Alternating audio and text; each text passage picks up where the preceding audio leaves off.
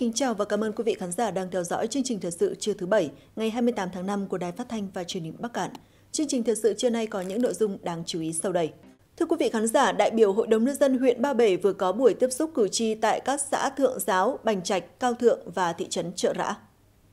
Đại diện cử tri các xã đã kiến nghị với đại biểu Hội đồng nhân dân huyện một số vấn đề như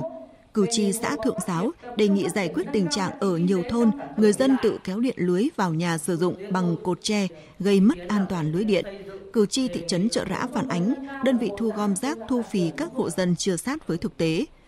Cử tri xã Bành Trạch có ý kiến theo kế hoạch năm 2022-2023 sẽ chuyển dần các điểm trường tiểu học có lớp 3, 4, 5 xuống trường chính học theo chương trình giáo dục phổ thông 2018 đề nghị chuyển đổi thành trường phổ thông dân tộc bán chú.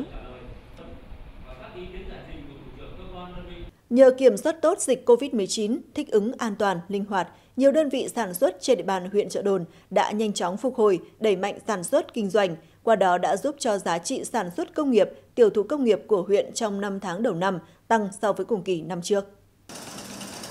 Sản phẩm công nghiệp tại huyện Trợ Đồn chủ yếu tập trung vào ngành công nghiệp khai thác, chế biến khoáng sản, lâm sản, khai thác vật liệu xây dựng. Những tháng đầu năm, do thị trường tiêu thụ ổn định nên hoạt động sản xuất của các đơn vị, doanh nghiệp cũng diễn ra sôi nổi. Ước tính gần 5 tháng đầu năm, giá trị sản xuất công nghiệp của huyện Trợ Đồn đạt hơn 130 tỷ đồng, bằng 105% so với cùng kỳ năm ngoái. Huyện Trợ Đồn tiếp tục nắm bắt tình hình sản xuất của các cơ sở công nghiệp trên địa bàn. Cùng với đó, tập trung tháo gỡ khó khăn vướng mắc để các đơn vị hoạt động ổn định, hiệu quả. Do giá quả xuống quá thấp và không được thường xuyên chăm sóc, phòng trừ sâu bệnh, nên hiện nay nhiều diện tích cây chuối tây tại huyện Ba Bể đang bị héo chết, không cho thu hoạch. Vào thời kỳ cao điểm, toàn huyện Ba Bể có khoảng 500 ha cây chuối tây, năng suất đạt 120 tạ một hecta, sản lượng đạt khoảng 6.000 tấn. Thế nhưng theo thống kê, đến hết năm 2021, diện tích cây chuối tây của huyện chỉ còn gần 350 ha, đạt khoảng 70% kế hoạch. Theo chính quyền các địa phương, bên cạnh việc quả chuối khó tiêu thụ, nhiều gia đình không thu hoạch để bán, thì hiện nay đất trồng chuối cũng đang bị thoái hóa, quả ngày càng bé và xuất hiện tình trạng sâu bệnh trên cây chuối, trong đó nhiều nhất là bệnh vàng lá. Mắc bệnh này, cây chuối đang xanh sẽ dần bị thối bẹ, lá úa vàng và chết, đồng thời cũng làm lây nhiễm bệnh ra các diện tích lân cận. Đây cũng là nguyên nhân làm cho diện tích trồng chuối ở các xã giảm đi đáng kể và không còn là loại cây mang lại thu nhập ổn định cho người dân.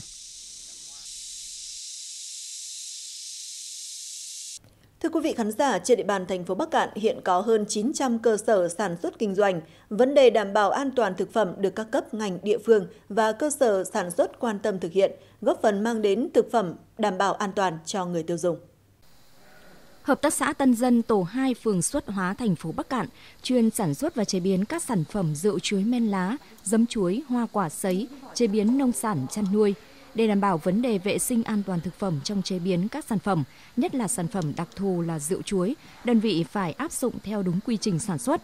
Đơn vị sản xuất theo giấy cấp phép sản xuất rượu thủ công, trong đó các mục được đoàn kiểm tra liên ngành tỉnh Bắc Cạn kiểm tra đều đạt về điều kiện cơ sở đảm bảo an toàn thực phẩm, quy trình sản xuất đáp ứng yêu cầu đặt ra. Kế hoạch cụ thể thì bây giờ thì vừa hoàn thiện nhà xưởng các thứ thì cơ sở à, hợp tác xã thì chưa chưa chưa làm được hoàn thiện hết. Nhưng mà tiến tới kế hoạch tới thì hợp tác xã sẽ làm từng việc một mà từng mục một để làm cho nó các sản phẩm hoàn thiện về rượu giấm thì là theo tiêu chuẩn mà về trong gọi là an toàn vệ sinh an toàn thực phẩm quy trình sản xuất để đáp ứng yêu cầu về vệ sinh an toàn thực phẩm thì trang thiết bị, dụng cụ sơ chế, chế biến thực phẩm phải đảm bảo theo quy định. Đồng thời chủ cơ sở cần nâng cao nhận thức trách nhiệm của người đứng đầu, nói không với thực phẩm giả, thực phẩm kém chất lượng. Như bên em thì cái vấn đề an toàn vệ sinh thực phẩm thì vẫn phải đặt lên hàng đầu. Từ khâu như, là lá các thứ này, gạo này đều phải đạt chuẩn sạch sẽ. Xong rồi từ những người làm cũng phải nói chung là cũng không không không không được mất vệ sinh các thứ. Nếu mà có xưởng mới thì mình sẽ có khu làm việc nó rộng rãi, sạch sẽ hơn. Tỷ lệ bánh của mình nó cũng đạt chất lượng cao hơn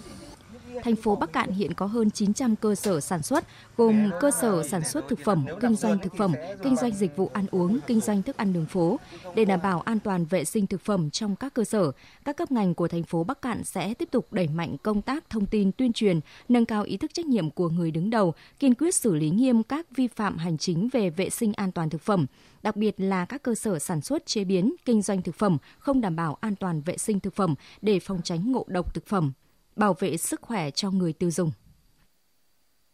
Hôm nay 28 tháng 5, đúng dịp kỷ niệm 55 năm ngày truyền thống lực lượng thanh tra công an nhân dân 28 tháng 5 năm 1967, 28 tháng 5 năm 2022. Thời gian qua, thanh tra công an tỉnh luôn nỗ lực phân đấu trong công tác, xây dựng lực lượng trong sạch vững mạnh, hoàn thành xuất sắc nhiệm vụ được giao.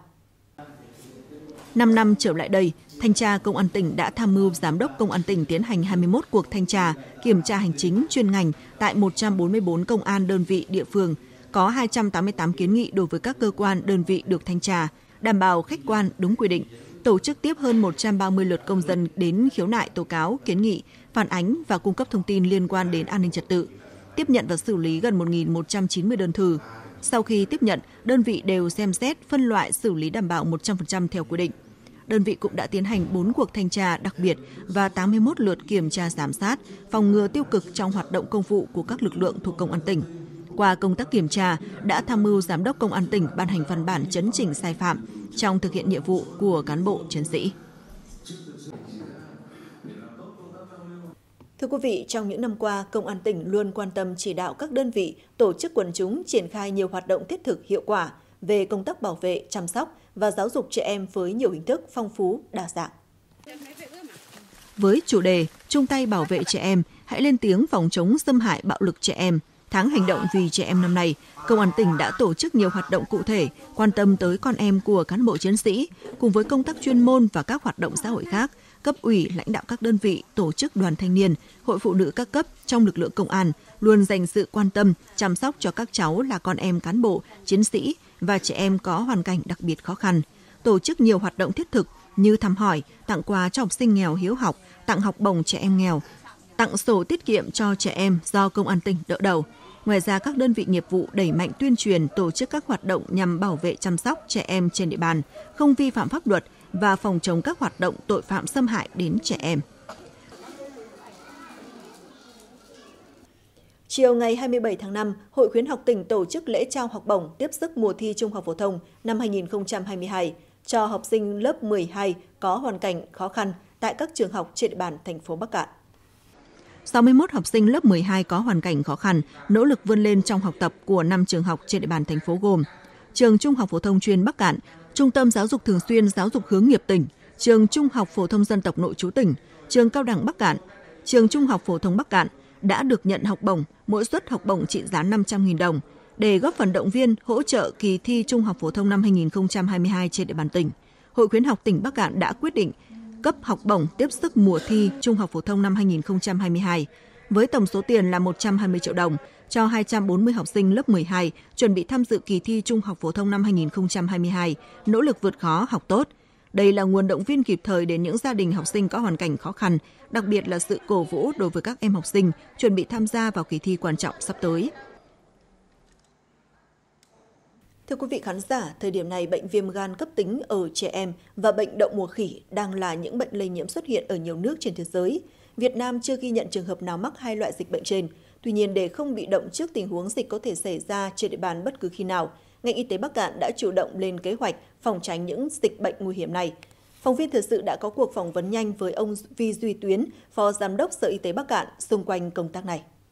À, vâng thưa ông là hiện nay trên thế giới thì đang xuất hiện nhiều dịch bệnh ví dụ như là bệnh à, à viêm gan cấp tính ở trẻ em hoặc là bệnh à, à đậu mùa khỉ. À, vậy thì đối với lại ngành y tế tỉnh Bắc Cạn thì đã sẵn sàng như thế nào à, các phương án để mà phòng chống những cái dịch bệnh này ạ? À, Ờ, trước cái tình hình ờ, dịch ờ, bệnh nói chung trên thế giới cũng như là tại Việt Nam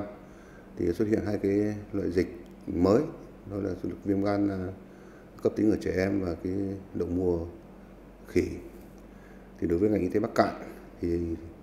sau khi mà có cái văn bản chỉ đạo của Bộ Y tế thì cũng đã triển khai những cái nội dung tập trung vào mấy cái nội dung chính như sau. À, một là thường xuyên cập nhật những cái ờ, ờ, văn bản hướng dẫn chỉ đạo của Bộ Y tế và tham mưu cho Ủy ban nhân tỉnh à, những văn bản chỉ đạo chung,